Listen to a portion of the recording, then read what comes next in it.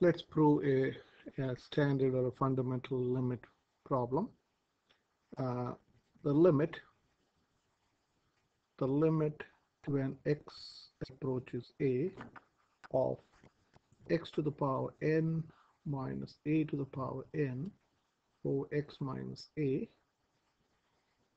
we want to prove that this limit is equal to n times a to the power n minus 1 okay so this is what I want to prove.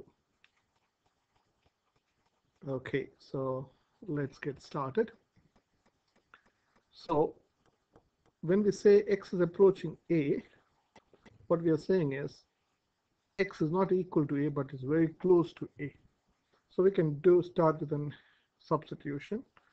Let x is equal to x is approaching a so we can say let x is equal to a plus h where h is a very small number where h is approaching 0 this implies making h the subject I can say x minus a is equal to h.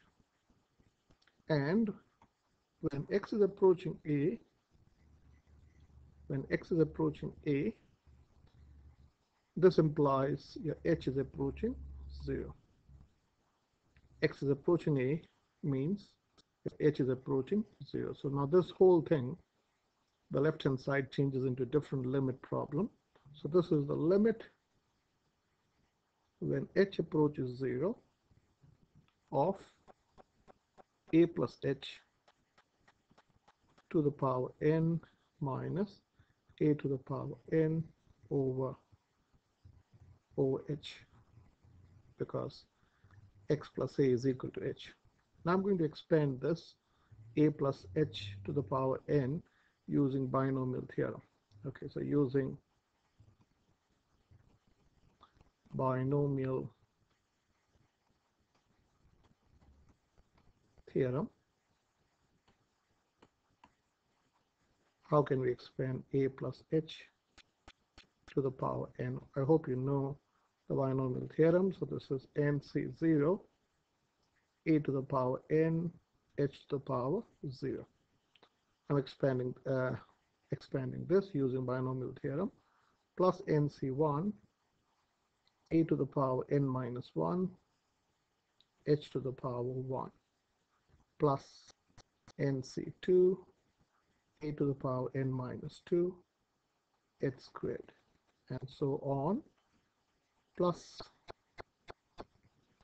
Uh, it'll become ncn ncn a to the power 0 h to the power n. So this simplifies so a plus h to the power n simplifies to nc0 is 1 h to the power 0 is also 1 so this is a to the power n plus nc1 a to the power n minus 1 times h plus nc2 a to the power n minus 2 times n minus 2 times h squared plus goes up to ncn is again 1 a to the power 0 is also 1 plus h to the power n okay. So this simplifies to this. So in place of a plus h to the power n I can write this. Okay. So now you can write so the limit the same limit limit when h approaches 0 of I'll write this in the big bracket. So this is a to the power n plus I'll uh, write 1 over h here in place of dividing by h is same as multiplying by 1 over h plus n n nc1 nc1 is n so I can write this is a to the power n plus n times a to the power n minus 1 times h plus nc2 I'm writing nc2 times a to the power n minus 2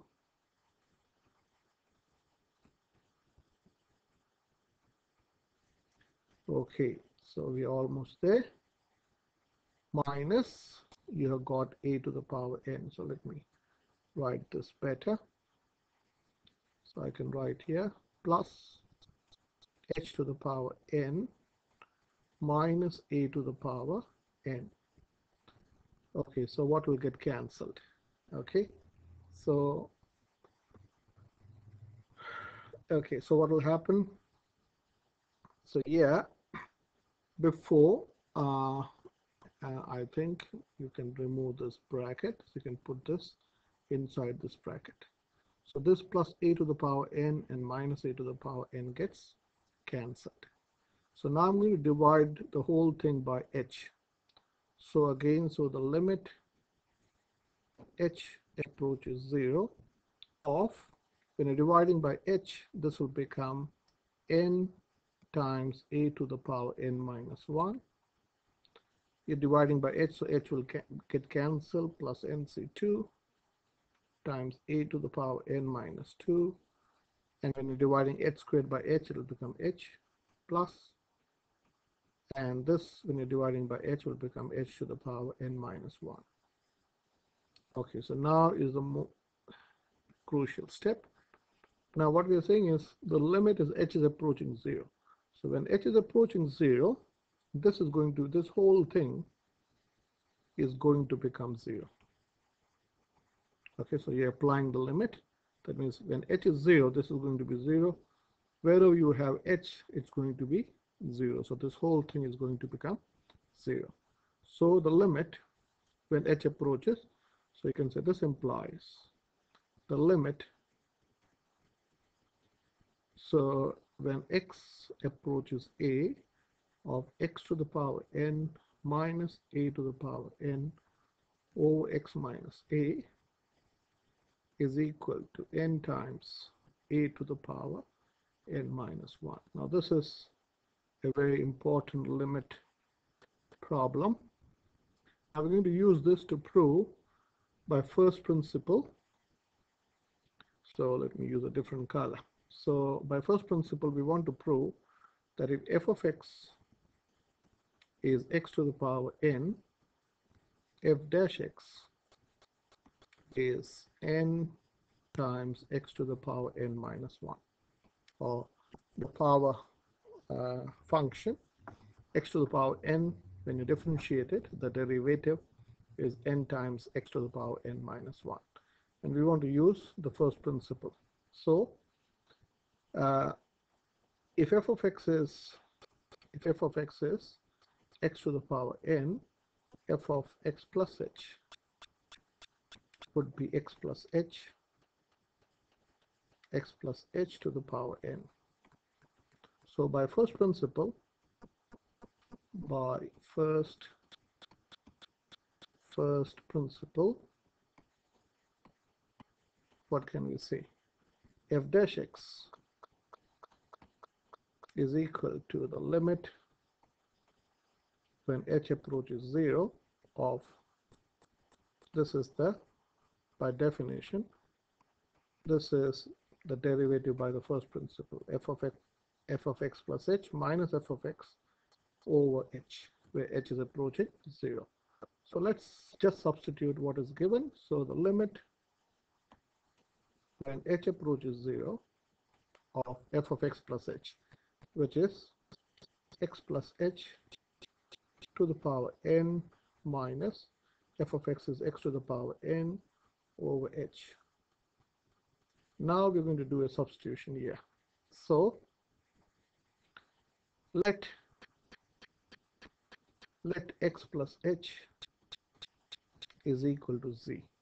Let x plus h is equal to z, which implies in place of h, you can write z minus x. Okay, and when h approaches 0 when h approaches 0 then you can say when h is approaching 0 you can say z would be approaching x so this whole thing will change into a different limit problem so this is the limit when z approaches x of z to the power n minus x to the power n over what is h? z minus x.